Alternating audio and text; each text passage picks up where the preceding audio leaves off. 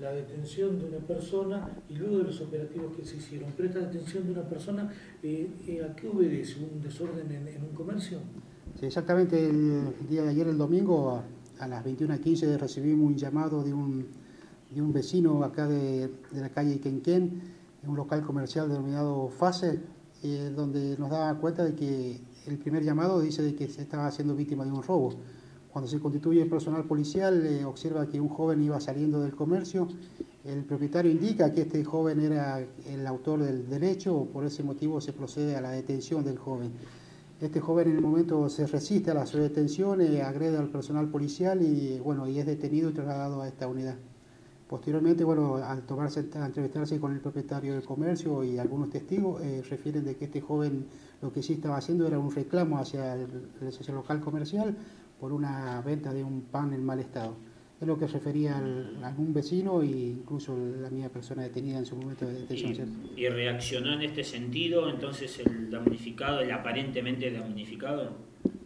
Sí, sí, lo que nos habían informado era que era un robo, por ese motivo se presenta personal y procede a la detención del joven. Y era una discusión entre cliente y, bueno, y el dueño del comercio. Exactamente, era una, una, discusión entre ambas partes, ¿cierto? Lo que sí se había puesto muy agresivo el joven, lo cual agredió a personal policial. Tengo dos efectivos lesionados por los golpes de, puño en el rostro. Eh, luego en el hospital continuó agresivo el joven y cuando fue trasladado para su examen médico, ¿cierto? ¿Lesionó algún médico? No, no, no, no tenemos denuncia de los médicos, pero sí se había puesto muy, muy agresivo, por lo que tuvo que intervenir personal y, y poder reducirlo, ¿cierto? Ahí también en el hospital.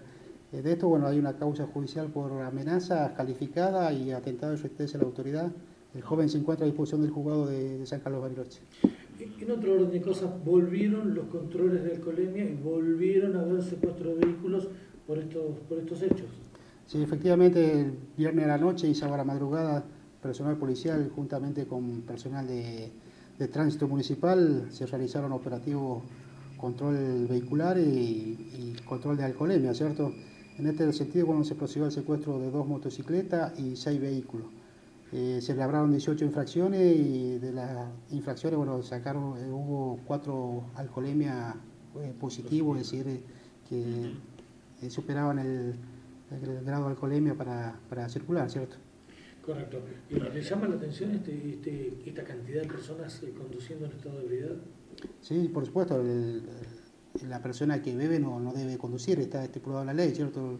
Uno o dos es mucho y es un peligro latente hacia los, hacia los mismos vecinos por accidentes de la vía pública. Perfecto. Y desde su experiencia, comisario, eh, Guapi, quizás en San Carlos de Bariloche, ¿cómo ve la estadística relacionada aquí en el Bolsón?